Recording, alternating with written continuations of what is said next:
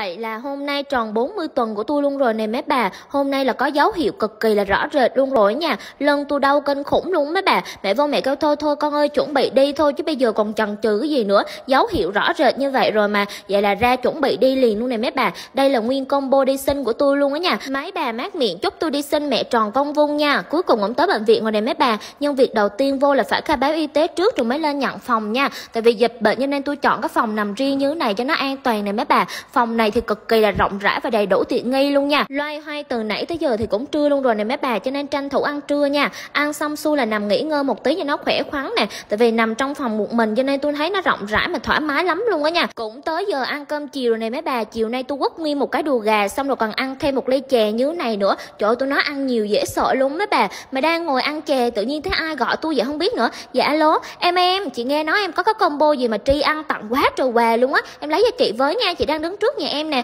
Tôi kêu chị ơi, em đi xin rồi chị, em không có ở nhà. Chị kêu, vậy thôi, nói nhân viên mang ra giùm chị với nha. Tôi kêu dạ chị đợi em chút xíu để em gọi nha chị. Vậy là gọi con bé nhân viên liền luôn này mấy bà. Alo, bé ơi, em mang ra giùm chị cái combo đặc biệt mà tặng quá trời quà cho các chị đang đứng trước nhà mình nha em ơi. Biểu sao mà không hối hả cho được, tại vì đang có cái chương trình tri ăn tặng quá trời quà luôn á. Khi mấy bà lấy một cái em body bông 500 g như thế này nè, xài từ giờ tới tết là bao trắng luôn á nha. Mấy bà sẽ được tặng kèm một cái em muối cam đào tẩy tế bào chết nè, thêm một cái em xịt thơm miệng lớp spray như thế này nữa. Tặng thêm một cây son siêu mềm mịn môi luôn á nhà chưa hết đâu. Tặng kèm một cái muỗng xúc kem như thế này nè. Nguyên cái combo mà tặng quá trời quà như thế này, biết sao không mê cho được mấy bà?